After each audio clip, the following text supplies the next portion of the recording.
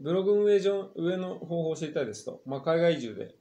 えー、してもですね、向こうで収入得たいという方からの、えー、ご質問ですね。ドメインを取る。で、ブログ運営について気をつけることを教えてくださいと。気をつけること。まあ、無料ブログでやらないってことはまず一つですよね。まあ、無料のサービスっていうのは、まあ、Google ぐらいにですね、もうある程度ですね、まあ、もう世界一のインターネット関連企業ぐらいになってくればまだあれなんですけども、まあ、日本の会社で、えーと、ちょろちょろやってるようなですね、えーと、そういう小さな、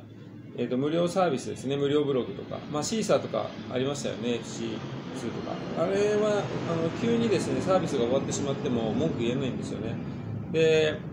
あなたの今まで、まあ、たくさん書いた記事が全部、えー、とおじゃんになってしまうということもあるので、とにかく無料を使わないこと、独自ドメインを取る、そして、えーとワードプレスでやるということですね。あとはまあ細かいところはコンサルでお伝えしたいと思います。で、えー、と海外移住された方